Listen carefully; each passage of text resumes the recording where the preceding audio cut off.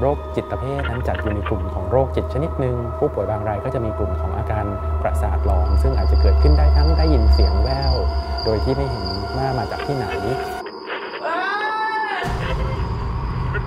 มีเห็นภาพหลอน โดยที่ไม่ทราบจริง ๆ แล้วมันไม่มีต้นตอหรือว่ามันไม่มีภาพนั้นอยู่จริงคนอื่นเขามองไม่เห็นกันได้กลิ่นที่ผิดปกติ เกิดขึ้นได้โดยที่คนอื่นเขาไม่ได้กลิ่น นอกนั้นแล้วก็จะมีอาการเรื่องของพฤติกรรมที่ผิดปกติไป หรือทำอะไรที่ไม่เหมาะสม โดยที่คนอื่นเขาไม่สามารถจะ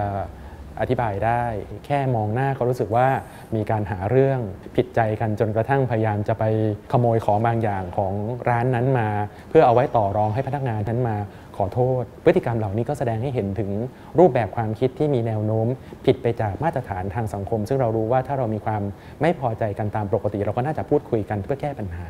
และท้ายที่สุดจะเป็นอาการด้านลบ คนไข้กลุ่มนี้ก็จะแยกตัวอยู่คนเดียวลำพัง ไม่พูดไม่จากับใคร หรือว่าไม่สนใจที่ดูแลสุขอนามัยของตัวเอง แต่งกายไม่สะอาด ไม่อาบน้ำมีกลิ่นตัว โรคจิตเภทอาจจะแบ่งได้เป็น 3 ระยะ ระยะเริ่มต้นที่ผู้ป่วยเริ่มแสดงอาการที่เกิดขึ้นจากความผิดปกติทางความคิด อาจจะมีความคิดแปลกๆ พฤติกรรมแปลกๆ แต่ยังอยู่ในจุดที่ยังไม่ได้เป็นผลกระทบต่อหน้าที่ในชีวิตประจำวัน ต่อมาก็จะเป็นระยะที่ผู้ป่วยแสดงอาการชัดเจน ผู้ป่วยก็จะมีทั้งความคิดหลงผิดหูแว่วภาพหลอน หรืออาการด้านลบ ที่แสดงเห็นได้อย่างเด่นชัดจนมีผลกระทบ ต่อการดำเนินชีวิตตามปกติ หากว่าผู้ป่วยนั้นมีการได้รับการรักษา หลายๆ คนก็อาจจะหายขาด แต่ก็จะมีบางรายที่เข้าสู่ระยะที่ 3 คือระยะที่ยังมีอาการหลงเหลืออยู่บ้าง ส่วนใหญ่ก็จะเหมือนกับคนทั่วๆไป แต่ก็จะยังมีความคิดแปลกๆหลงเหลืออยู่บ้าง แต่มันก็จะอาจจะไม่มีผลกระทบต่อการดำเนินชีวิตของเขา สาเหตุของโรคจิตเภทนะครับในทางการแพทย์ในปัจจุบันเนี่ยพบว่ามันเกี่ยวข้องกับเรื่องของปัจจัยทางเคมีภายในสมองที่ผิดปกติไป เชื่อว่าเกิดจากพันธุกรรมส่วนหนึ่ง แล้วก็อาจจะเกี่ยวข้องกับประสบการณ์ในวัยเด็กร่วมด้วยอยู่บ้างนะครับส่งผลรวมแล้วทำให้มีสารสื่อนำประสาทบางตัวที่มันเกินกว่าความพอดี นะครับแล้วก็ทำให้ผู้ป่วยนั้นมีความคิดที่ผิดปกติตามมา ผู้ป่วยที่ไม่ได้รับการรักษาโรคนี้มีแนวโน้มที่จะเป็นเรื้อรังรุนแรงขึ้น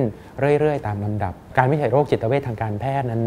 ก็อาศัยเรื่องของการสัมภาษณ์ประวัติ ตรวจสภาพจิตของผู้ป่วย แล้วก็สอบถามข้อมูลจากคนรอบข้าง ในกรณีที่ยากจริง ๆ เราอาจจะมีการส่งทดสอบทาง จิตวิทยาเพิ่มเติม ปัจจุบันในเรื่องของความก้าวหน้าทางการแพทย์และการรักษานั้น มีการรักษาทั้งด้วยเรื่องของยา แล้วก็การรักษาด้วยไฟฟ้า เราจะใช้ยาในกลุ่มยาต้านโรคจิตครับในผู้ป่วยที่เป็นไม่มากเป็นครั้งเดียว อาจจะได้รับคำแนะนำให้ทานยาเพียง 1-2 ปี แล้วก็อาจจะหยุดยาได้ แต่ในผู้ป่วยที่เป็นเรื้อรัง